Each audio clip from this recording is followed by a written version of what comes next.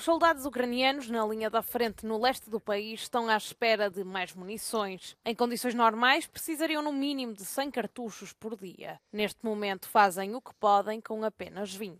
Enquanto aguardam pela ajuda dos aliados, lutam contra um exército mais robusto. Снарядів завжди не, не вистачає. Ну, вони в нас є, але завжди мало. Потрібно більше. A Ucrânia precisa de qualquer vantagem possível para derrotar a Rússia. A esperança que lhe resta é a pequena indústria de defesa que o governo tem inundado com dinheiro na expectativa de que as armas e munições produzidas no país possam ajudar a virar o jogo. Ми виробляємо боєприпаси для е, 120-ї міни, 82-ї і 60-ї.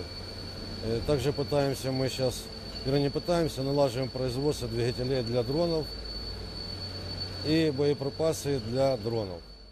Uma grande parte das armas está agora a ser comprada a fábricas do setor privado. São cada vez mais em todo o país e rapidamente estão a tomar conta de uma indústria que há décadas era dominada por empresas estatais. Ми дуже активно працюємо над нарощуванням обсягів виробництва.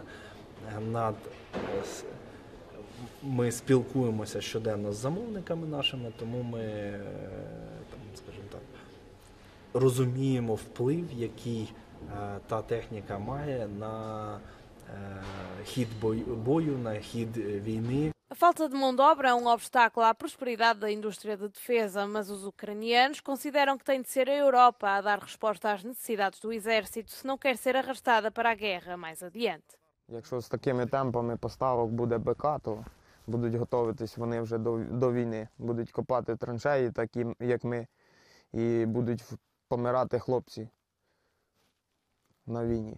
От і все.